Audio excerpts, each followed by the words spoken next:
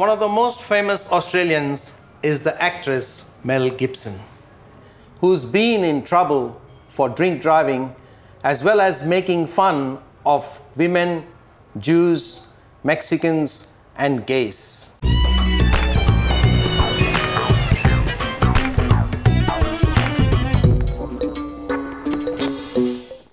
So, definitely an Australian.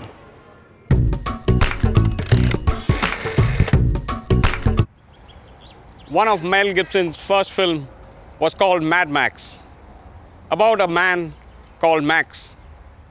He was very, very cross. In this film, he rounds up all the Jews and the gays in this car. Let's check it out. Before he made films about Jesus, Mel Gibson made a film called Crazy Max. He spent most of the film in his car, out in the desert, which of course can make you very thirsty and racist. Let's pop the bonnet. Bloody hell! He's left his goon here.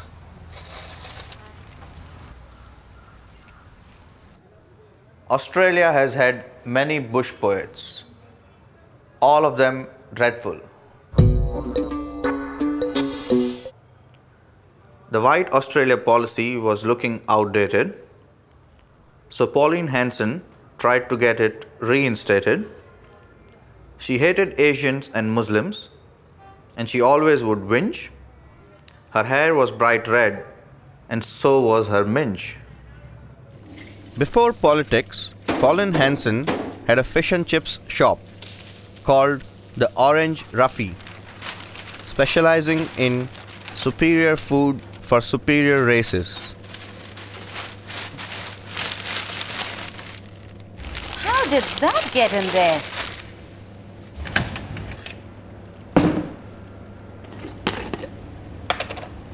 Dirty blackies?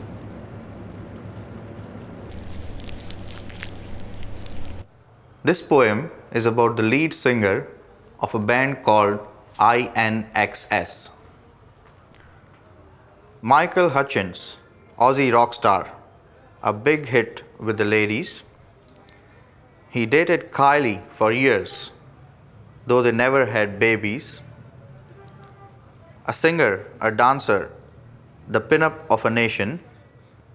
He died of autoerotic asphyxiation.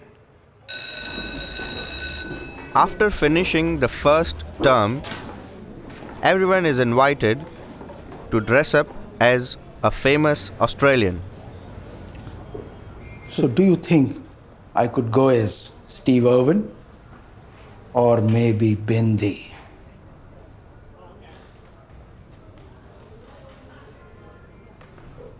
We have a very special treat for you, everybody. The Dean of the college has written his own poem about famous Australians.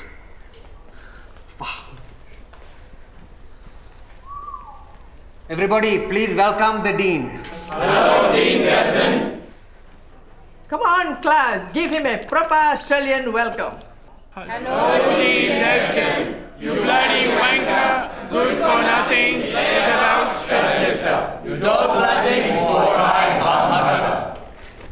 class.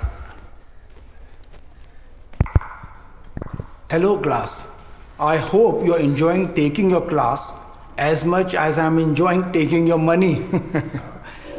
Sorry, just joking a leg. Okay, well, maybe the Dean should read the poem now. Certainly. Okay. It's about Mel Gibson. Mel Gibson, Mel Gibson, he does what he pleases. Mel Gibson, Mel Gibson, likes drinking and Jesus. Mel Gibson, Mel Gibson, he loves to drink booze. Just don't ask him what he thinks about Jews.